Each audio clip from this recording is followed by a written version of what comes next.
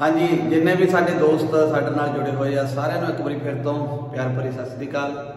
ਦੋਸਤੋ, ਅੱਜ ਆਪਾਂ ਥੋੜੀ ਜਿਹੀ ਵੀਡੀਓ ਕਰਾਂਗੇ, ਜਿਹੜੀ ਆਪਾਂ ਗੱਲਬਾਤ ਕਰਾਂਗੇ, ਅੱਜ ਆਪਾਂ ਆਸਟ੍ਰੇਲੀਆ ਦੇ ਉੱਤੇ ਕਰਾਂਗੇ।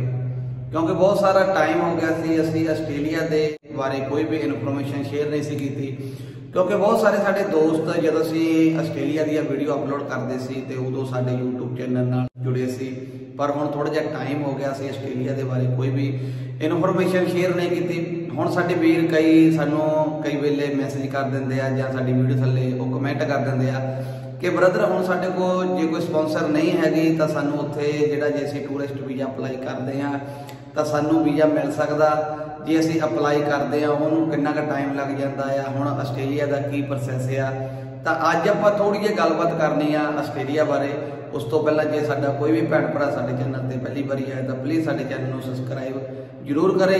ਕਿਉਂਕਿ ਅਸੀਂ ਆਪਣੇ ਇਸ ਚੈਨਲ ਦੇ ਉੱਤੇ ਸਾਈਪ੍ਰਸ ਬਾਰੇ ਜਾਂ ਯੂਰਪ ਦੀਆਂ ਅਲੱਗ-ਅਲੱਗ ਕੰਟਰੀਆਂ ਬਾਰੇ ਜੋ ਵੀ ਇਨਫੋਰਮੇਸ਼ਨ ਹੁੰਦੀ ਆਪਾਂ ਤੁਹਾਡੇ ਨਾਲ ਸ਼ੇਅਰ ਕਰਦੇ ਰਹਿੰਦੇ ਆ। ਤੇ ਹੁਣ ਆਪਾਂ ਥੋੜੀ ਜਿਹੀ ਗੱਲ ਕਰਾਂਗੇ ਆਸਟ੍ਰੇਲੀਆ ਬਾਰੇ। ਕਿਉਂਕਿ ਸਾਡੇ ਕੁਝ ਦੋਸਤਾਂ ਦੇ ਸਾਨੂੰ ਜਿਹੜੇ ਮੈਸੇਜ ਆਏ ਸੀ ਕਿ ਬ੍ਰਦਰ ਅਸੀਂ ਹੁਣ ਆਸਟ੍ਰੇਲੀਆ ਦਾ ਜਿਹੜਾ ਟੂਰਿਸਟ ਵੀਜ਼ਾ ਅਪਲਾਈ ਕਰ ਸਕਦੇ ਆ ਜਾਂ ਨਹੀਂ ਕਰ ਸਕਦੇ, ਸਾਡੇ ਕੋਲ ਕੋਈ ਸਪਾਂਸਰ ਹੈ ਨਹੀਂਗੇ ਦੇਖੋ ਦੋਸਤੋ ਇਦਾਂ ਆ ਵੀ ਆਸਟ੍ਰੇਲੀਆ ਦਾ ਜਿਹੜਾ ਟੂਰਿਸਟ ਵੀਜ਼ਾ ਆ, ਤੁਸੀਂ ਹਰ ਟਾਈਮ ਜਦੋਂ ਮਰਜ਼ੀ ਤੁਸੀਂ ਅਪਲਾਈ ਕਰ ਲਓ।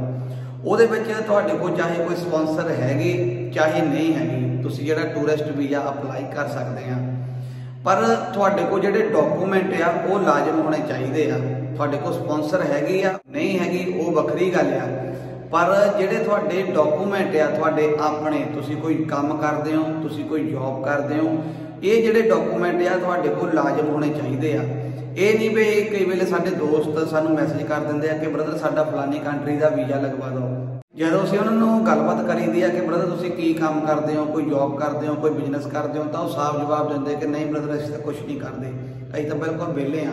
ਤਾਂ ਦੋਸਤੋ, ਉਸ ਬਿਹਾਰ ਤੇ ਤੁਸੀਂ ਕਿਸੇ ਵੀ ਕੰਟਰੀ ਦਾ ਜਿਹੜਾ ਆ ਟੂਰਿਸਟ ਵੀਜ਼ਾ ਨਹੀਂ ਅਪਲਾਈ ਕਰ ਸਕਦੇ, ਆਸਟ੍ਰੇਲੀਆ ਤਾਂ ਬਹੁਤ ਦੂਰ ਦੀ ਗੱਲ ਆ।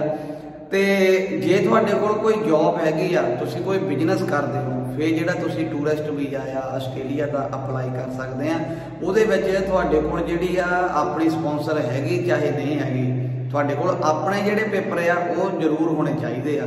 ਕਿਉਂਕਿ ਹੁਣ ਕੁਝ ਟਾਈਮ ਪਹਿਲਾਂ ਅਸੀਂ ਇੱਕ ਨਿਊਜ਼ੀਲੈਂਡ ਦਾ, ਸਾਡੇ ਇੱਕ ਵੀਰ ਦਾ ਜਿਹੜਾ ਵੀਜ਼ਾ ਲਗਵਾ ਕੇ ਦਿੱਤਾ ਸੀ, ਉਹਦੇ ਕੋਲ ਪੂਰੇ ਉਹਦੇ ਕੋਲ ਡਾਕੂਮੈਂਟ ਸੀ। ਆਪਣਾ ਉਹਨਾਂ ਦਾ ਬਿਜ਼ਨਸ ਸੀਗਾ ਡੈਰੀ ਫਾਰਮ ਦਾ ਸਾਡੇ ਵੀਰ ਉਹ ਕੰਮ ਕਰਦੇ ਸੀ। ਪਰ ਉਹਨਾਂ ਦੇ ਕੋਲ ਨਿਊਜ਼ੀਲੈਂਡ ਤੋਂ ਕੋਈ ਉਹ ਸਪਾਂਸਰ ਨਹੀਂ ਸੀ। ਉਹਨਾਂ ਦਾ ਸੀ ਜਿਹੜਾ ਹੋਟਲ ਬੁਕਿੰਗ ਤੇ ਵੀਜ਼ਾ ਅਪਲਾਈ ਕੀਤਾ ਸੀ। ਪਰ ਇਹ ਸੀ ਵੀ ਜਿਹੜੇ ਉਹਨਾਂ ਦੇ ਡਾਕੂਮੈਂਟ ਸੀਗੇ, ਉਹਨਾਂ ਦੇ ਆਪਣੇ ਕੰਮਕਾਰ ਦੇ ਜਿਹੜੇ ਡਾਕੂਮੈਂਟ ਸੀ, ਉਹ ਉਹਨਾਂ ਕੋਲ ਉਹ ਪ੍ਰੋਪਰ ਸੀਗੇ। ਇਹੀ ਜਿਹੜਾ ਉਹ ਤਰੀਕਾ ਆ, ਆਸਟ੍ਰੇਲੀਆ ਦਾ ਆ। ਦੋਸਤੋ, ਆਸਟ੍ਰੇਲੀਆ ਦੇ ਲਈ ਜਿਹੜੇ ਤੁਹਾਡੇ ਕੋਲ ਪੇਪਰ ਆ, ਉਹ ਪ੍ਰੋਪਰ ਹੋਣੇ ਚਾਹੀਦੇ ਆ। ਤੁਹਾਡੀਆਂ ਆਈਟੀਆਰ ਤੁਹਾਡਾ ਜਿਹੜਾ ਉਹ ਕਰੰਟ ਅਕਾਊਂਟ ਤੁਹਾਡਾ ਜਿਹੜਾ ਕੋਈ ਬਿਜ਼ਨਸ ਆ, ਉਹਦੀ ਰਜਿਸਟ੍ਰੇਸ਼ਨ ਜਾਂ ਤੁਹਾਡੀ ਜਿਹੜੀ ਲੈਟਰ ਹੈਡ ਆ, ਉਹ ਚਾਹੀਦੀ ਆ, ਤਾਂ ਉਸ ਤੋਂ ਬਾਅਦ ਤੁਹਾਡੇ ਕੋਲ ਥੋੜਾ ਜਿਹਾ ਬੈਂਕ ਬੈਲੈਂਸ ਹੋਣਾ ਚਾਹੀਦਾ ਆ। ਫਿਰ ਤੁਸੀਂ ਜਿਹੜਾ ਆ, ਉਹ ਹੋਟਲ ਬੁਕਿੰਗ ਤੇ ਜਿਹੜਾ ਆਪਣਾ ਆ ਆਸਟ੍ਰੇਲੀਆ ਦਾ ਟੂਰਿਸਟ ਵੀਜ਼ਾ ਅਪਲਾਈ ਕਰ ਸਕਦੇ ਆ। ਜੇ ਤੁਸੀਂ ਕੋਈ ਜੌਬ ਕਰਦੇ ਹੋ ਜੌਬ ਦੇ ਵਿੱਚ ਤੁਹਾਨੂੰ ਐਨਓਸੀ ਚਾਹੀਦੀ ਹੁੰਦੀ ਆ, ਉਸ ਤੋਂ ਬਾਅਦ ਤੁਹਾਡੀ 6 ਮਹੀਨੇ ਦੀ ਜਿਹੜੀਆਂ ਆ ਪੇ ਸਲਿੱਪਾਂ ਚਾਹੀਦੀਆਂ ਹੁੰਦੀਆਂ, ਉਸ ਤੋਂ ਬਾਅਦ ਤੁਹਾਡੇ ਕੋਲ ਥੋੜਾ ਜਿਹਾ ਬੈਂਕ ਬੈਲੈਂਸ ਹੋਵੇ।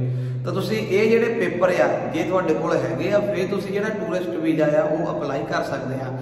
ਕਿਉਂਕਿ ਦੋਸਤੋ ਇਮੀਗ੍ਰੇਸ਼ਨ ਆਫੀਸਰ ਨੇ ਜਿਹੜਾ ਵੀਜ਼ਾ ਹੁੰਦਾ ਆ, ਉਹ ਡਾਕੂਮੈਂਟ ਦੇ ਬਿਹਾਫ ਤੇ ਹੀ ਜਿਹੜਾ ਵੀਜ਼ਾ ਗ੍ਰਾਂਟ ਕਰਨਾ ਹੁੰਦਾ।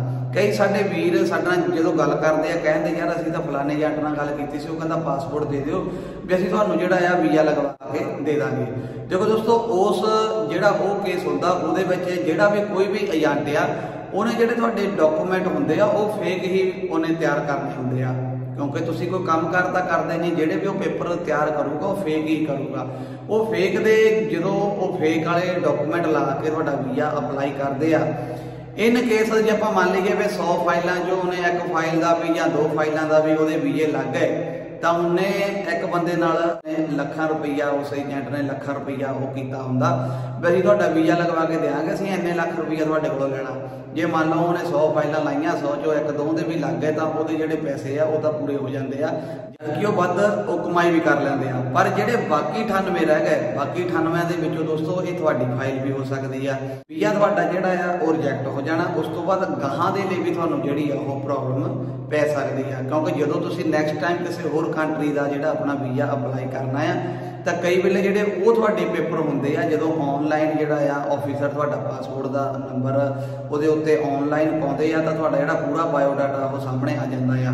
ਤਾਂ ਕਈ ਵੇਲੇ ਕੀ ਹੁੰਦਾ ਵੀ ਜਿਹੜੇ ਉਹ ਪਹਿਲਾਂ ਡਾਕੂਮੈਂਟ ਫੇਕ ਲਾਏ ਹੁੰਦੇ ਆ, ਉਹ ਵੀ ਜਿਹੜੇ ਸਾਹਮਣੇ ਆ ਜਾਂਦੇ ਆ, ਤਾਂ ਉਸ ਵਿਹਾਰ ਤੇ ਵੀ ਕਈ ਵੇਲੇ ਵੀਜ਼ਾ ਆਫੀਸਰ ਜਿਹੜਾ ਤੁਹਾਡਾ ਦੁਬਾਰਾ ਵੀਜ਼ਾ ਵੀ ਰਿਜੈਕਟ ਕਰ ਦਿੰਦਾ।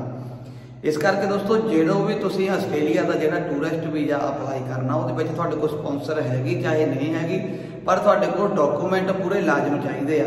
ਹੁਣ ਪੂਰੇ ਨਿਊ ਈਅਰ ਆ ਰਿਹਾ ਆ ਨਿਊ ਈਅਰ ਤੇ ਤੁਸੀਂ ਅਪਲਾਈ ਕਰ ਸਕਦੇ ਆ। ਨਿਊ ਈਅਰ ਦੇ ਨਾਲ ਤੁਸੀਂ ਉਹ ਕ੍ਰਿਸਮਸ ਵੀ ਐਡ ਕਰ ਸਕਦੇ ਆ।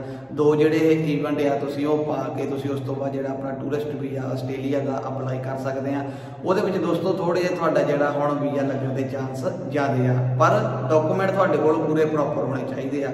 ਇਹ ਨਹੀਂ ਵੀ ਤੁਹਾਡੇ ਕੋਲ ਡਾਕੂਮੈਂਟ ਹੈ ਨਹੀਂ ਤੇ ਤੁਸੀਂ ਫਿਰ ਵੀਜ਼ਾ ਅਪਲਾਈ ਕਰ ਦਵੋ, ਤਾਂ ਫਿਰ ਤੁਹਾਡਾ ਜਿਹੜਾ ਉਹ ਵੀਜ਼ਾ ਰਿਜੈਕਟ ਹੀ ਹੋਣਾ ਆ। ਤੇ ਦੋਸਤੋ ਅੱਜ ਦੀ ਜਿਹੜੀ ਆਪਾਂ ਵੀਡੀਓ ਆ ਇੰਨੀ ਕਰਨੀ ਸੀ, ਕਿਉਂਕਿ ਸਾਡੇ ਕੁਝ ਦੋਸਤਾਂ ਨੇ ਸਾਡੇ ਨਾਲ ਗੱਲ ਕੀਤੀ ਸੀ ਕਿ ਬ੍ਰਦਰ ਥੋੜਾ ਜਿਹਾ ਆਸਟ੍ਰੇਲੀਆ ਬਾਰੇ ਵੀ ਥੋੜੀ ਇਹ ਵੀਡੀਓ ਪਾ ਦਿਆ ਕਰੋ। ਤੇ ਅੱਜ ਆਪਾਂ ਜਿਹੜੀ ਆ ਗੱਲਬਾਤ ਤੁਹਾਡੇ ਨਾਲ ਕੀਤੀ ਆ ਵੀ ਆਸਟ੍ਰੇਲੀਆ ਦਾ ਜਿਹੜਾ ਟੂਰਿਸਟ ਵੀਜ਼ਾ ਆ, ਤੁਸੀਂ ਉਹਨੂੰ ਹਰ ਟਾਈਮ ਅਪਲਾਈ ਕਰ ਸਕਦੇ ਆ ਹੋਟਲ ਬੁਕਿੰਗ ਤੇ ਵੀ ਕਰ ਸਕਦੇ ਆ, ਪਰ ਤੁਹਾਡੇ ਕੋਲ ਜਿਹੜੇ ਡਾਕੂਮੈਂਟ ਆ, ਉਹ ਪ੍ਰੋਪਰ ਹੋਣੇ ਚਾਹੀਦੇ ਆ। ਤਾਂ ਦੋਸਤੋ, ਹੋਰ ਕੋਈ ਆਪਾਂ ਇਨਫੋਰਮੇਸ਼ਨ ਲੈ ਕੇ ਜਲਦੀ ਆਵਾਂਗੇ। ਉਦੋਂ ਤੱਕ ਸਾਰਿਆਂ ਨੂੰ ਪਿਆਰ ਭਰੀ ਸਤਿ ਸ੍ਰੀ ਅਕਾਲ।